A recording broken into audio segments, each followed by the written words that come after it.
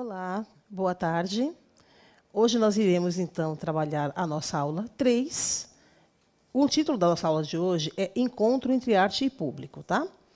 Na verdade, nós vamos estar dando continuidade aos temas que nós trabalhamos em aulas anteriores, aprofundando. Hoje eu estou aqui com a professora Fernanda Borges. Gostaríamos de agradecer né, a, o aceite ao nosso convite para a moderação. Muito obrigada, professora. Obrigada, professora, pelo convite. Vamos seguir nossa aula. Olha só, gente. Então, hoje, qual é a habilidade que nós iremos trabalhar nesta aula?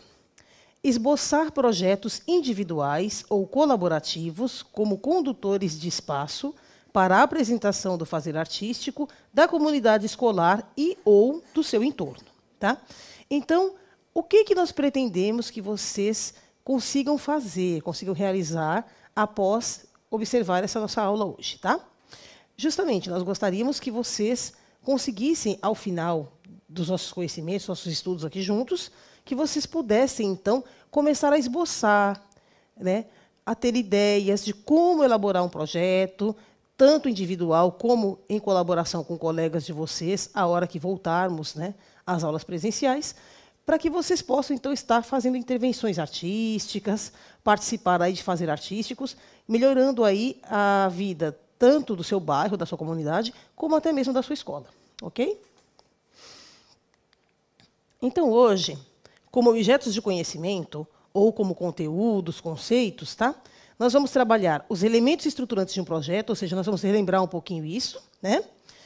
Vamos dar, estar, dando, estar dando uma relembradinha nos elementos estruturantes, ou seja, como que, qual é o passo a passo de confecção de um projeto, o que, que isso implica, que tipo de materiais, que tipo de recursos humanos que a gente precisa estar alocando para realizar um projeto. Tá? E também, né, como conceitos aí, vamos aprender também um pouco sobre os festivais de dança, as mostras universitárias e espaços alternativos em dança, ou seja, né, saindo aí do tradicional, do palco italiana, do palco do teatro e ganhando então outros espaços, outros lugares para estarmos realizando essas práticas. Ok? Vamos lá. Então, o que são os elementos estruturantes de um projeto? Antes da gente iniciar a nossa conversa sobre os elementos estruturantes de um projeto, é preciso a gente ter uma noção mais clara do que, que é um projeto. Né? A gente deve ter em mente que ele vai além das intenções, ideias ou planos colocados ali no papel. O projeto, então, é um instrumento individual inicialmente. Claro que ele pode ser colaborativo, como eu expliquei anteriormente, tá?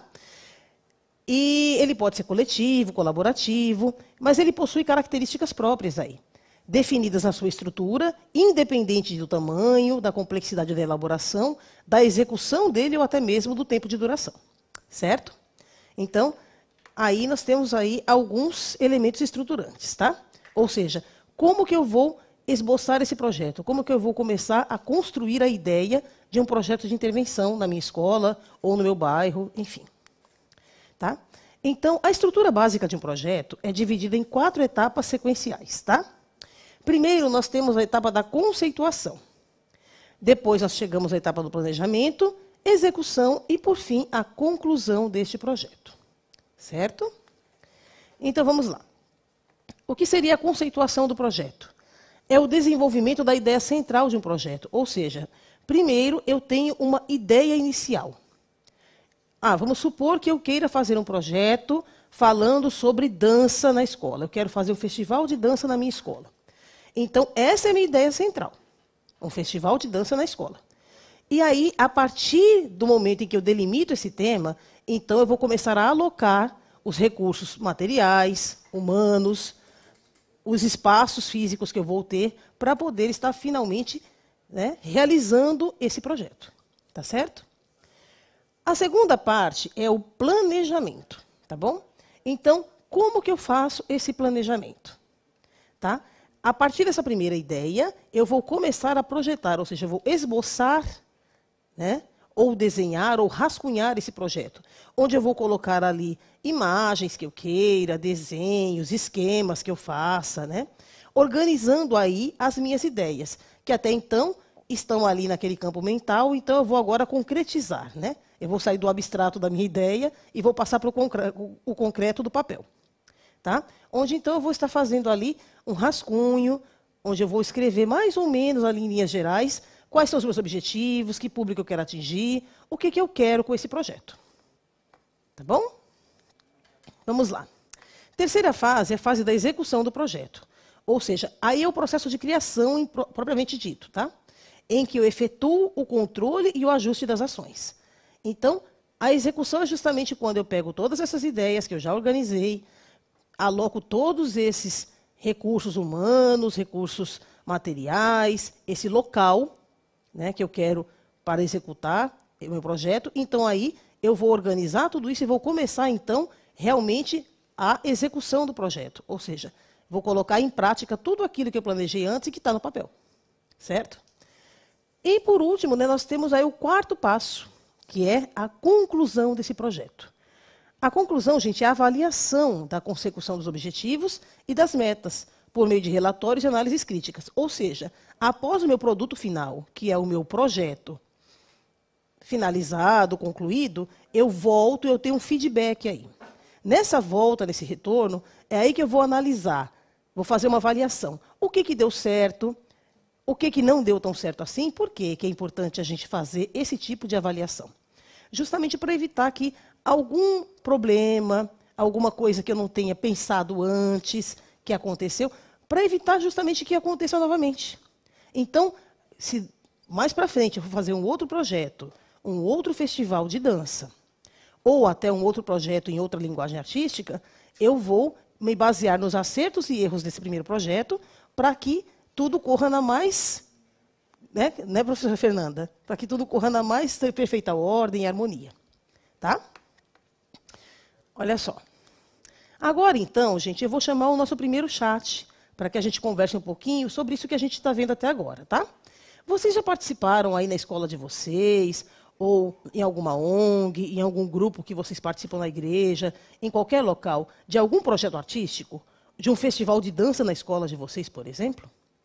Contem para nós aqui no chat um pouquinho dessa experiência. Dois minutos para vocês refletirem e colocarem uma respostinha para nós. Voltamos já.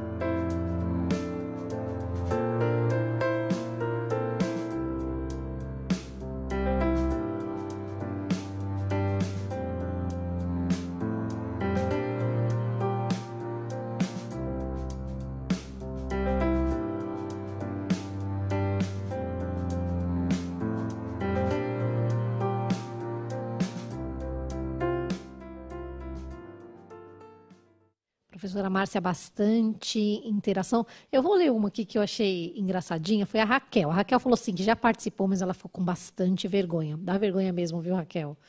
Olha só.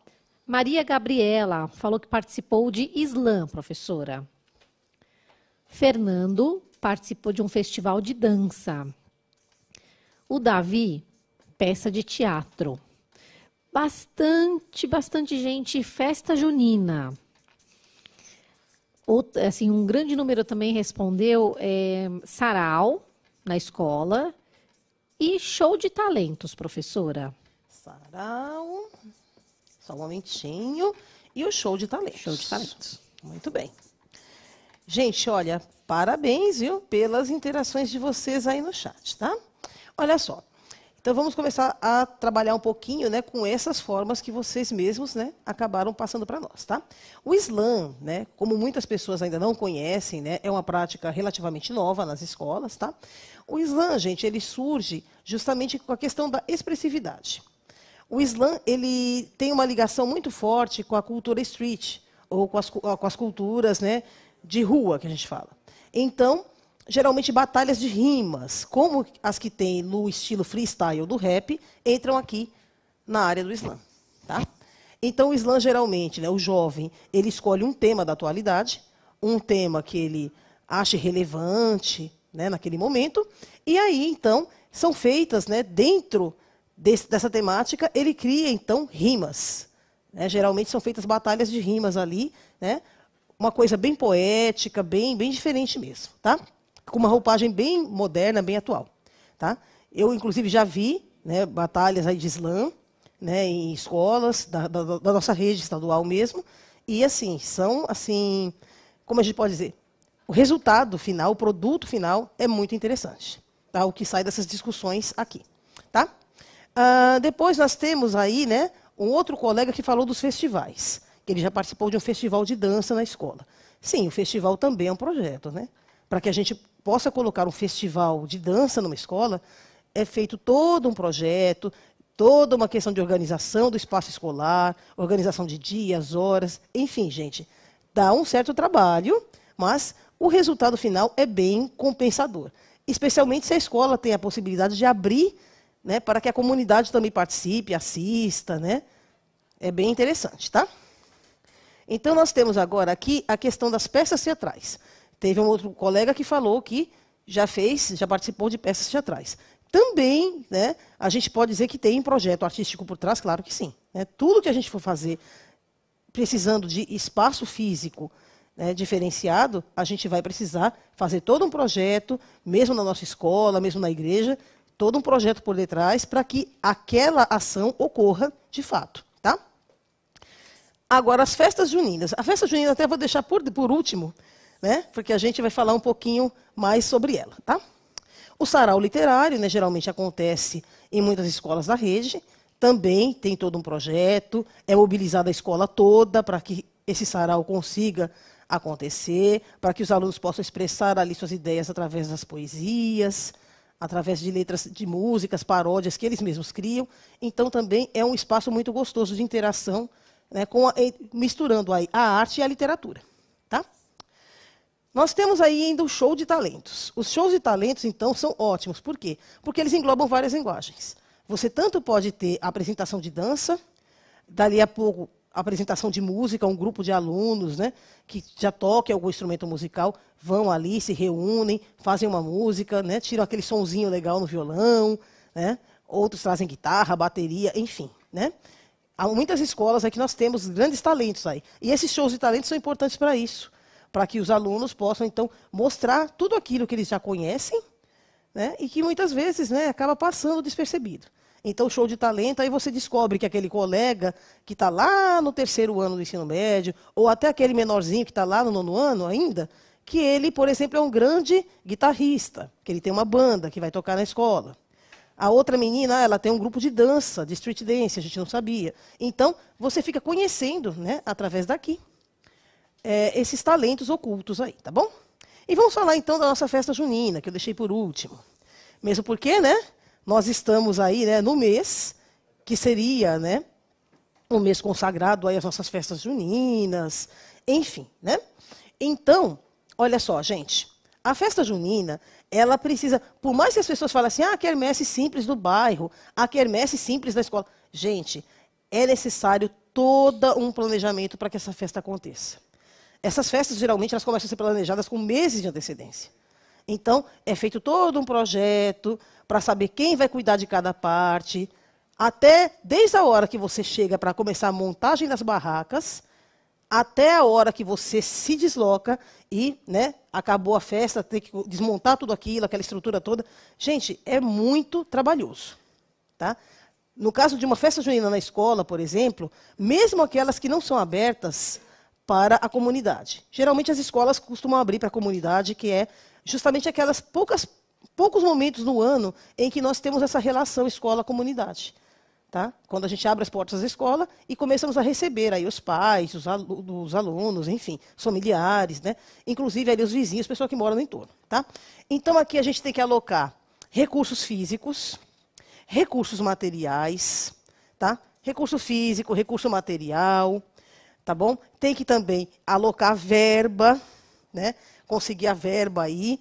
Então, cada pessoa, às vezes, num processo colaborativo, cada pessoa, então, dá um, doa um pouquinho de dinheiro ali para poder fazer um fundo, para poder comprar aí as prendas, para colocar nas barracas de brincadeiras, comprar os alimentos que serão distribuídos na festa, né, os refrigerantes, enfim, tudo mais, tá? Então, é feito aqui toda uma organização com meses de antecedência até para determinar quem vai ficar em cada lugar. Você vai ficar na barraca X, você vai ficar no caixa, você vai ficar responsável por organizar as filas, você vai ficar responsável por organizar, por ser uma pessoa assim que vai mostrar, né, ciceronear esses visitantes por dentro dos espaços escolares, para que as pessoas consigam encontrar tudo aquilo que elas querem. Enfim, gente, a festa junina, por mais que seja um evento que as pessoas, às vezes, colocam assim como um evento menor, muito pelo contrário. Ele é um evento que exige um planejamento e uma dedicação muito grande por parte de toda a equipe escolar para que ele ocorra. Tá? Bom, professor, eu acho que a festa junina é um projeto artístico bem completo. E sem contar que tem a questão da organização das danças, quem vai entrar, que horas vai sair. É, tudo isso, se você já começa a se envolver desde cedo, você já está aprendendo a elaborar um projeto artístico bem completo, não é, professora Márcia? Sim a questão das danças, as quadrilhas, né, gente? A quadrilha, justamente, né, a questão da identidade cultural aí, falando, né, dialogando diretamente com o momento. Tá? Todo mundo vai, aquela organização. E às vezes as pessoas até fazem aquelas quadrilhas malucas, né? Onde os meninos se vestem de menina, né? Troca, ou se vestem com roupas de personagens, né? Super-heróis. Ou seja, hoje em dia, cada dia, as quadrilhas ficam mais divertidas e mais criativas também, tá?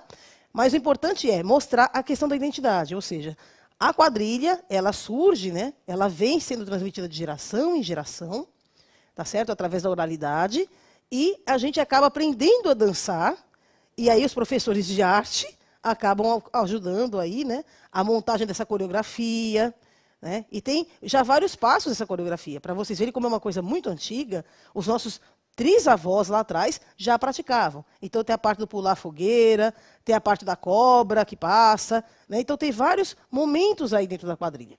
E isso é importante para reforçar justamente a questão da identidade cultural do povo brasileiro. Inclusive, as festas juninas aqui no Brasil, né, como eu já citei em aulas anteriores, as festas juninas mais famosas, inclusive vêm visitantes do mundo todo para participar desse fenômeno, ficam localizadas em duas, duas cidades diferentes no Nordeste brasileiro. Uma é Campina Grande, na Paraíba, e a outra Caruaru, em Pernambuco. São os maiores São Joões que eles falam do mundo. Tá? Levando aí milhões de pessoas. Né? Infelizmente, né, este ano, né, gente, por conta da pandemia, né, esse processo, né, infelizmente, este ano não vai acontecer. Porém, né, esperamos aí né, que, assim que a gente finalmente né, esteja livre deste problema, que nós possamos voltar então à vida normal e também às nossas tradições culturais. Ok? Vamos lá, então, vamos dar continuidade. Agora, gente, vamos ver os conceitos aqui, tá? Alguns conceitos. Festivais de dança, tá? Observem que nós temos duas imagens, né? Aí de dança, tá? De festivais. Então, nesses festivais, gente, são eventos em que os dançarinos, eles mostram a sua arte para um público. Os eventos ficam conhecidos também por reunir diversas atrações, além das apresentações de dança, como seminários, cursos, oficinas e outras atividades. Então, gente, nos festivais de dança, como a gente citou antes aí na leitura, é, o festival de dança ele serve justamente para ser uma vitrine de exposição do trabalho daquele coreógrafo ou daquele grupo de dança. Tá? Então, antigamente existiam muitos festivais de dança, hoje né, ainda existem, mas antigamente tinha festivais grandes que eram televisionados, inclusive. Né? Passavam aí em várias cidades né, do Brasil ao mesmo tempo. Justamente para quê? Para que todo mundo tivesse conhecimento do trabalho daquelas companhias. E isso foi muito importante, porque lançou grandes nomes da dança, né? Ana Botafogo, uma, a nossa primeira bailarina lá do Teatro Municipal do Rio de Janeiro, ela desponta como primeira bailarina num, justamente num festival desse, ainda lá na década de 80. Tá bom, gente? Então, é muito importante o festival, não somente para mostrar o talento ou o trabalho de um grupo, de uma companhia ou de um coreógrafo. É importante também, justamente pela questão dos seminários que são oferecidos ao mesmo tempo. Ou seja, então, entre nos intervalos entre uma apresentação e outra, às vezes acontece um seminário, uma palestra, um workshop, que pode auxiliar o público a entrar em contato com a parte mais técnica ou a parte de estudo, né? a parte aí pedagógica mesmo, né? da questão da dança. Tá? A pedagogia da dança, né? ou a metodologia da dança. Então, é muito importante não apenas para dançarinos profissionais, mas também né, para o público leigo que quer conhecer um pouquinho mais sobre a dança. Tá bom? Vamos lá. Festivais universitários e mostras estudantis de dança. Elas são importantíssimas. Por quê? Vamos dar uma olhadinha aqui. Os festivais universitários e as mostras estudantis têm como, têm como objetivo evidenciar e fortalecer o trabalho de artistas dentro do ambiente escolar além de promover a participação destes em redes colaborativas, como coletivos e companhias. Nesses festivais, que podem fazer parte da grade curricular, é possível assistir a algumas apresentações de danças, videodanças, palestras e participar de algumas oficinas, rodas de conversa e interações com convidados. Tá? Então, gente, por que, que as mostras estudantis são importantes? Pelo mesmo motivo que os shows de talentos aqui na nossa escola são importantes. Tá? É a partir daí que você vai ver que aquele aluno lá que está no último ano da faculdade, que ele tem um grupo de dança, por exemplo, ele já dança há muito tempo. E ninguém sabia. Então, é uma vitrine de exposição ali. Além disso, vários professores, mestres, acabam sendo convidados de outras instituições para tomar parte. E aí você tem essa interação, justamente, tá? entre profissionais que já estão na área há muitos anos abrindo aí né, caminho para o pessoal novo que vem chegando. Aí você tem workshops, você tem oficinas, palestras, seminários, enfim. Tudo isso acontecendo, tá? E auxiliando justamente a esse futuro profissional nesse processo de formação inicial dele. Tá? É muito importante, então, o festival universitário e a mostra universitária de dança. Certo? Vamos dar continuidade, então. Agora vamos falar um pouquinho, gente, sobre espaços alternativos para dança. Tá? Por que espaço alternativo?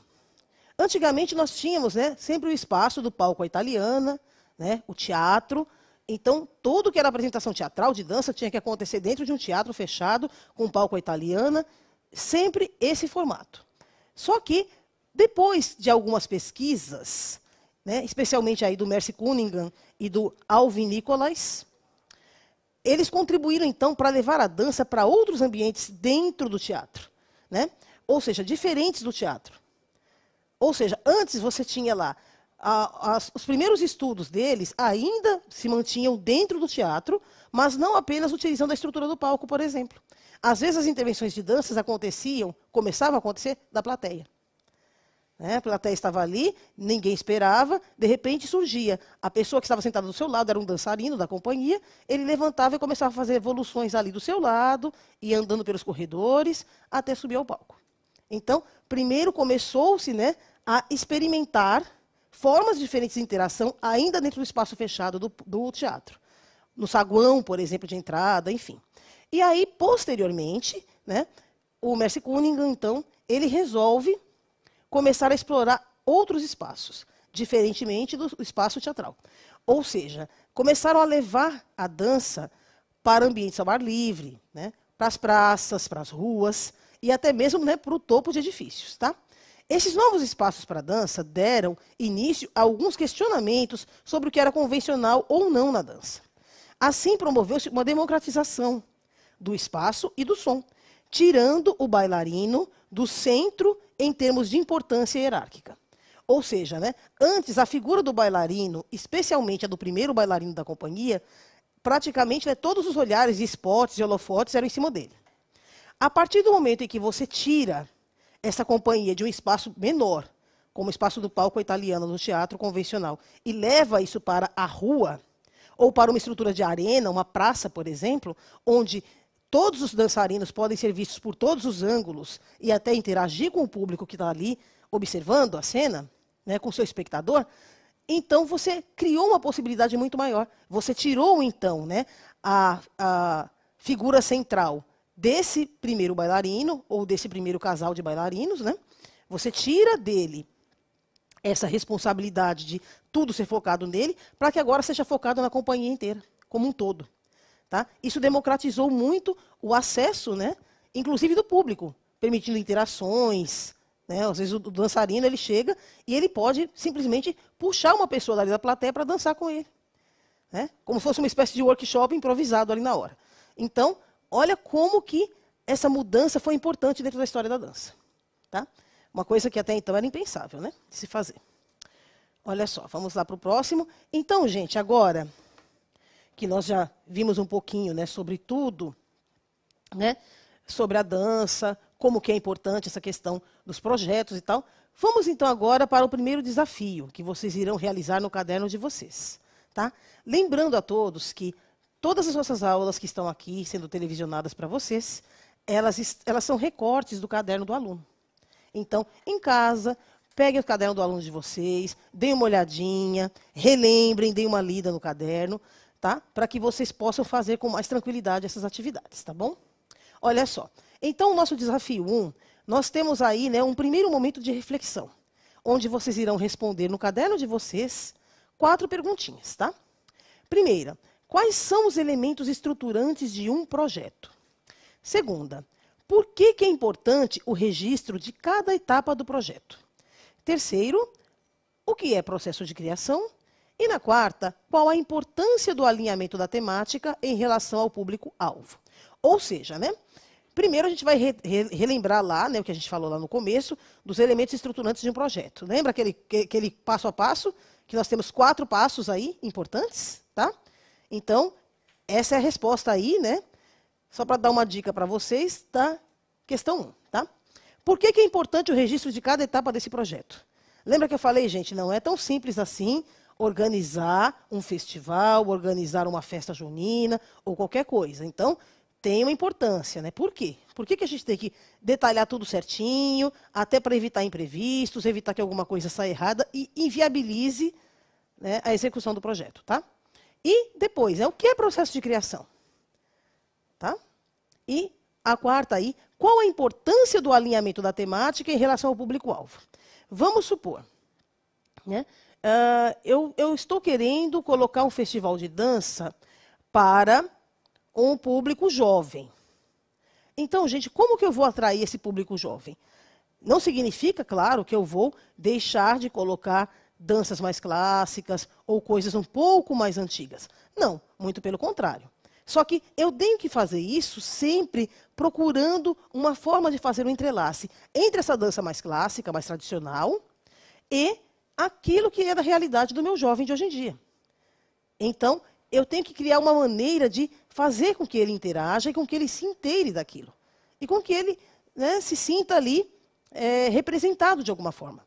Isso é uma forma de aproximar, então, esse espetáculo, essa minha ideia, da realidade do meu público-alvo.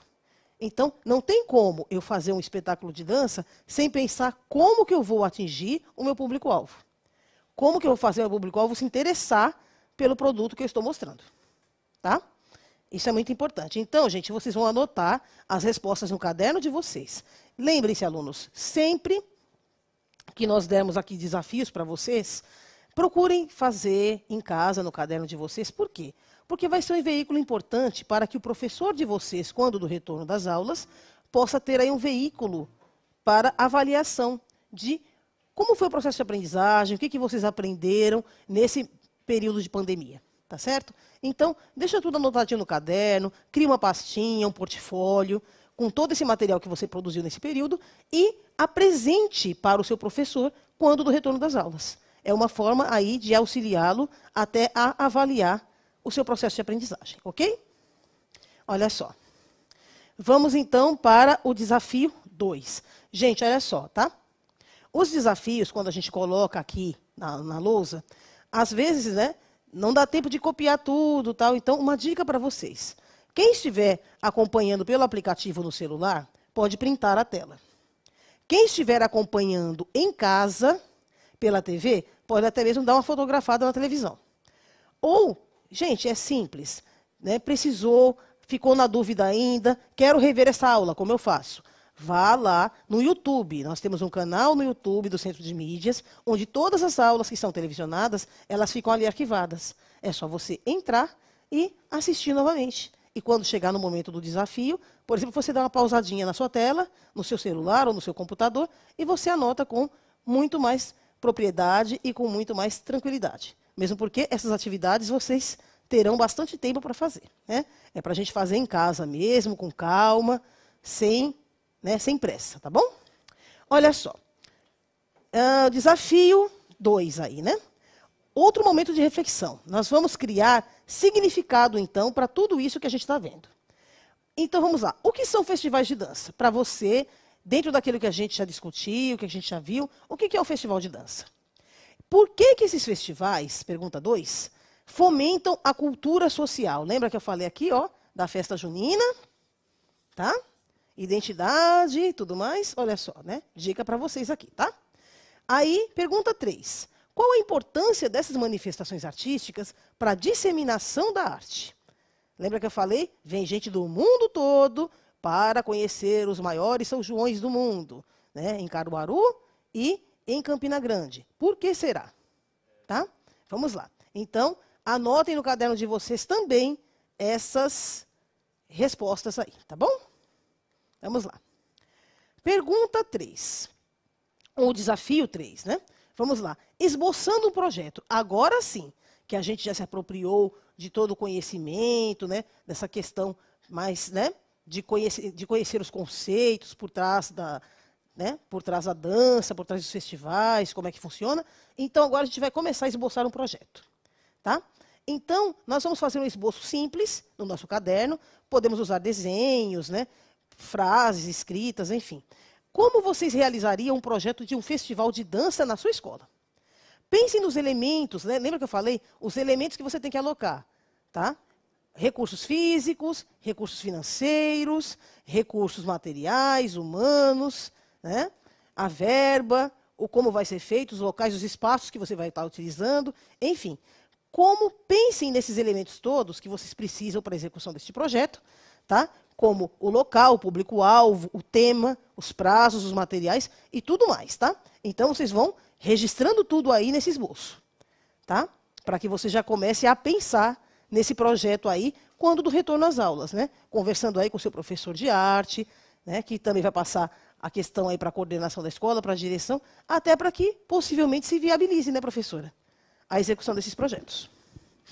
Quem sabe, né, professora, uma ideia dessa, um festival de dança não tenha na sua escola, mas seja uma, uma ideia antiga sua, por exemplo, é, um campeonato, é campeonato de slam que se fala? é, uma batalha de batalha slam. de slam. Pode ser uma boa, você pode estar levando isso para sua escola, fala com o professor de artes, coordenador, diretor, pode virar uma, um evento na sua escola. Vamos lá. Criando significado, gente. Olha só. Então, nós vamos aí ainda né, no desafio 4, né, que é a quarta atividade da nossa aula de hoje, nós vamos pesquisar em casa, em livros, revistas, jornais, na internet, em tudo aí que a gente tenha dentro de casa, tá? Ferramentas aí que a gente tenha disponíveis, uma entrevista. Vocês vão procurar uma entrevista impressa, tá? Com um coreógrafo, um bailarino ou um dançarino. E aí, tomando por base o que ele pensa sobre a dança, sobre o seu trabalho, a importância dele, você mesmo vai refletir e você vai colocar no seu caderno, vai criar um textinho, você criará um texto, uma pequena redação, onde você pensa sobre o tema da importância da dança, a importância social da dança, considerando inclusive os tempos de pandemia. Por que, que a gente pode estar utilizando a dança, né? como a gente pode usar a dança nesse momento de pandemia? Eu, por exemplo, né, questão de isolamento, a gente não pode sair, não pode ver os amigos, não pode ver família. Gente, tem hora, mesmo em casa, né? A gente vai, tira um espacinho ali, a gente dança entre a gente em casa, sabe? Pega lá o pai, a mãe, né, o filhinho, dança junto, sabe?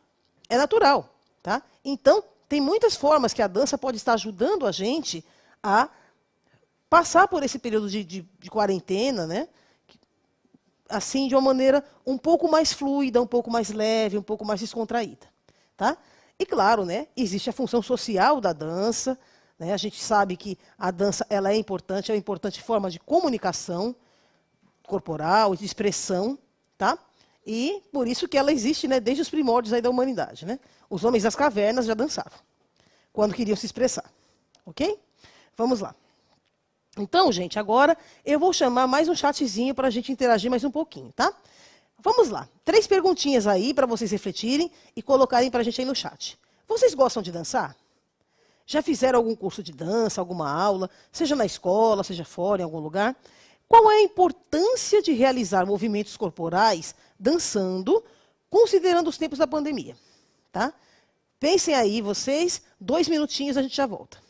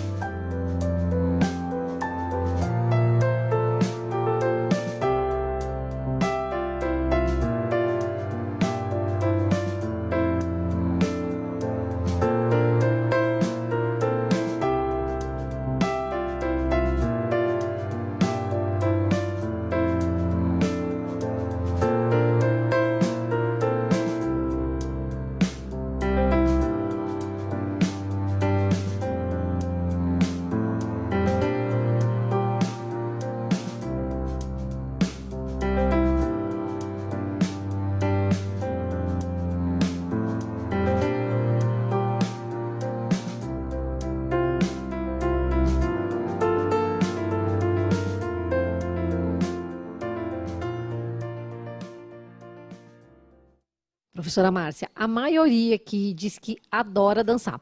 Tem uns que falaram que não gostam muito, tem um pessoal que falou que tem vergonha. A maioria sabe da importância para a saúde, dançar faz bem para a saúde, para a mente.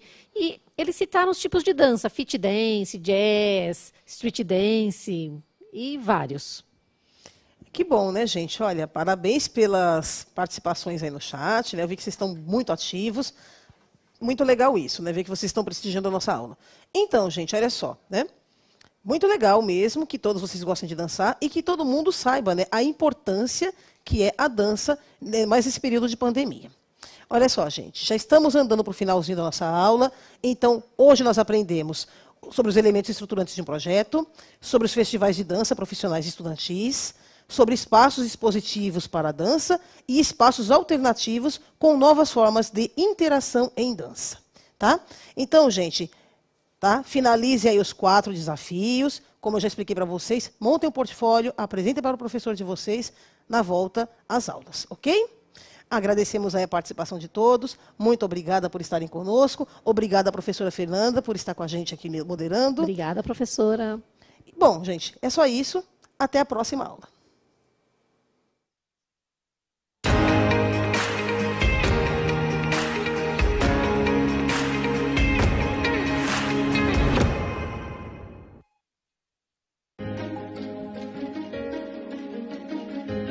A escola pode estar distante, mas as aulas não. Por isso, o governo de São Paulo criou um aplicativo online de aulas com chats para todos os estudantes da rede pública de ensino durante a quarentena. O acesso à internet é gratuito e você ainda pode assistir às aulas ao vivo nos canais digitais da TV Cultura. Baixe o aplicativo e estude.